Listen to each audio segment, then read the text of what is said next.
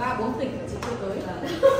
Còn lại là em không không tỉnh nào mình đi. Chắc được đi ít đấy đi thôi từ Việt Nam là đi năm mươi một là năm bảy năm chín tỉnh em cũng đi cũng phải được 60 tỉnh rồi đấy đi suốt.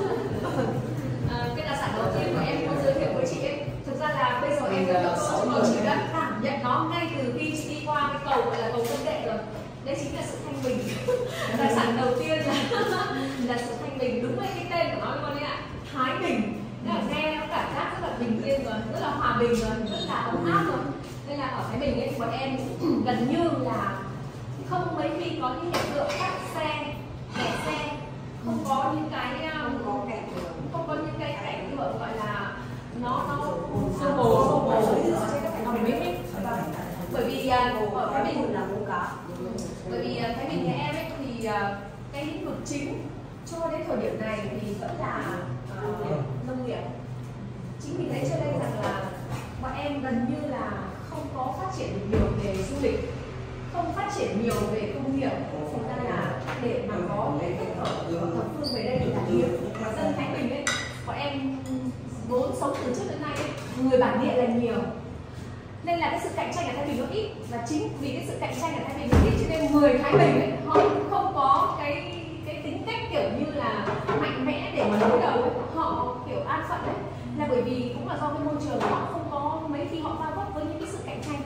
Không giống như Hà Nội. Hà Nội là phải gồng người lên để để, cạnh tranh để mà giành giật cái cái cơm manh áo của mình. Nhưng mà Thái Bình thì không bởi vì người ta quen với cái cảnh sống là không phải tranh giành với ai cả ruộng nhà mình mình cấy.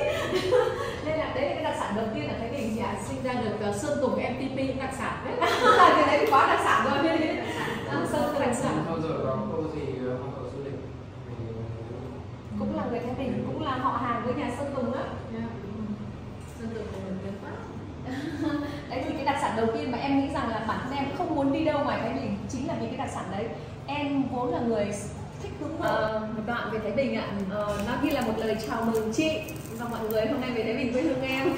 Em hát cũng hay nhá. Nó chỉ là nội dung của bài hát rất là hay thôi.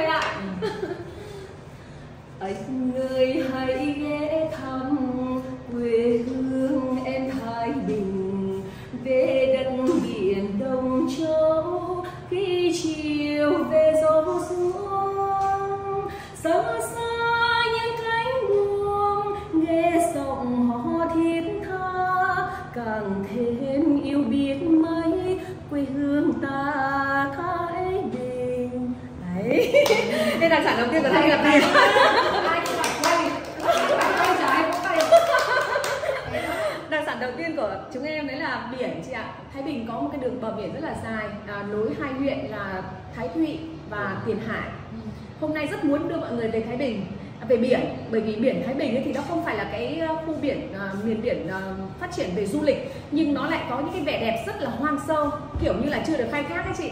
Những cái bờ cát bờ, bờ cát rất là mịn và những cái những cái uh, rừng thông và những cái rừng ngập mặn rất là đẹp chị ạ. Đi nhưng mà bây giờ từ đây về đấy thì tương đối xa, nếu như mà chị về trong ngày thì lại thì lại không không về được.